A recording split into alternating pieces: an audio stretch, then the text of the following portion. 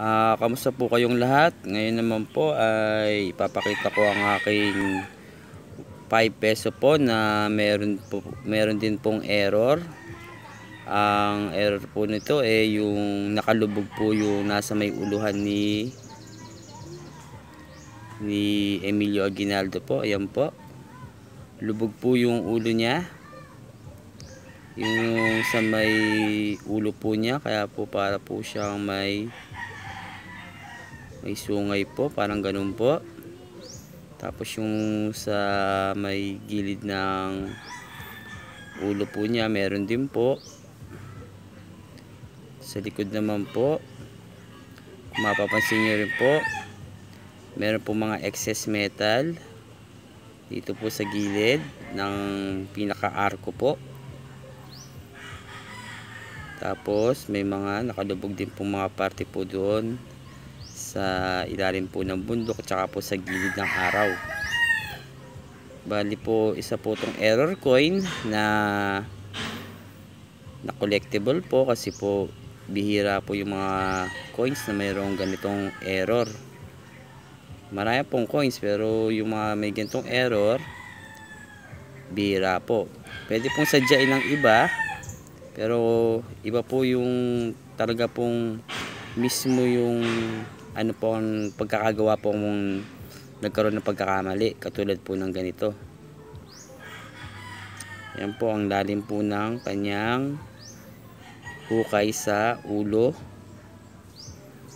Malalim po pati po sa may gilid po ng republika. Meron din po mga hukay tsaka po ito po nasa may balikat po niya. Hukay din po ang 1997 5 piso. Ayun pa po pala meron pa po pala siya sa sa gilid ng 5 niya. Hukay din po. Bali po yung mga ganitong coins po mahirap po makakita ng ganito. Meron po pero mga palagay ko po mga sinadya po yung iba. Isa pa po papakita ko sa inyo ito pong 1 piso na may malalim din pong hukay. Ayun po. Hukay po yung pinaka tingnan po natin. Hukay po yung pinaka 1 po ng 1 piso nya ayan. Tinatago ko tago ko po ito. Baka po kasi masira. Dahil nga po may hukay.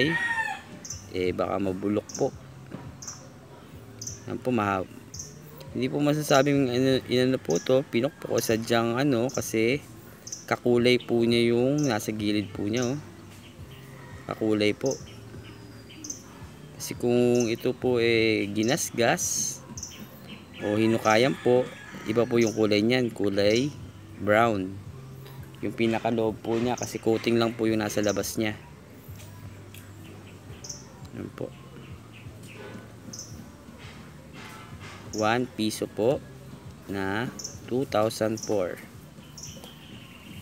so yun lang po. Bali senior ko lang po yung may error ko pong mga coins. 1 piso tsaka po 5 piso. Sa mga nag subscribe po maraming pong salamat sa inyo.